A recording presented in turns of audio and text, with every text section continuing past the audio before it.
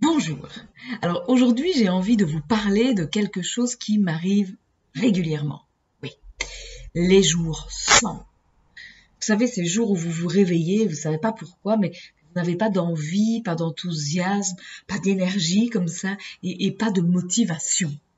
Et pourtant, le, le, comble du désespoir, dans les jours sans, nous avons quand même des tas d'avec avec obligation, avec tâches, avec, euh, tas de choses à faire finalement.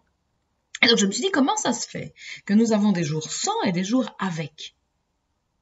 Tout dépend de la motivation. Oui, la motivation, c'est ce qui va me mettre en mouvement. Et c'est là où est le piège. Parce que j'ai constaté finalement qu'il y avait deux types de motivation. Il y a d'abord la motivation dépendante, vous voyez, qui dépend des causes extérieures à moi. Alors, elle a deux formes, cette motivation dépendante. Il y a d'abord la motivation dépendante par contrainte, obligation, c'est-à-dire que je vais me mettre en mouvement, je vais me mettre en action parce que, euh, eh bien, il y a une contrainte. Euh, par exemple, je vais commencer à bosser très très fort un, dossier parce que j'ai une date limite pour euh, le rentrer. et donc voilà, cette contrainte va finalement m'obliger à me mettre en mouvement.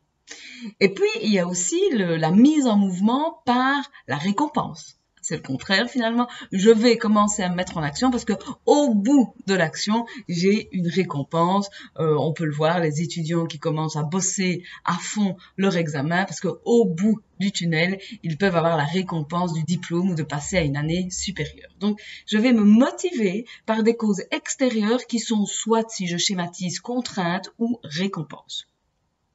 Je ne sais pas si ça vous rappelle quelque chose, vous, mais moi, ça me rappelle carrément l'enfance. Vous savez, ce moment où on nous disait, si tu es sage, tu auras une bonne glace à récompense.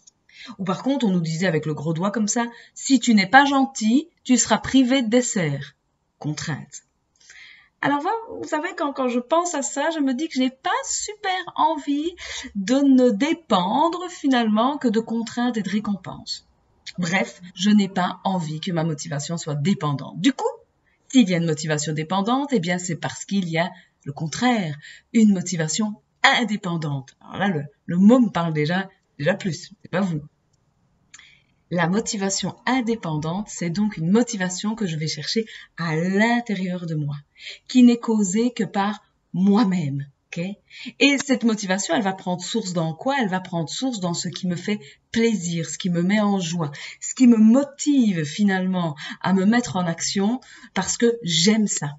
Alors, je me suis intéressée à mes moteurs d'action et je me suis dit, mais, mais moi, c'est quoi finalement euh, les moments où je sens l'énergie comme ça, de la motivation? C'est quand je fais quoi? Alors moi, j'ai remarqué que c'était quand, quand je créais, quand j'étais en relation avec d'autres, quand je pouvais transmettre des choses que j'aime, euh, quand je pouvais éprouver du plaisir à être sur un nouveau projet.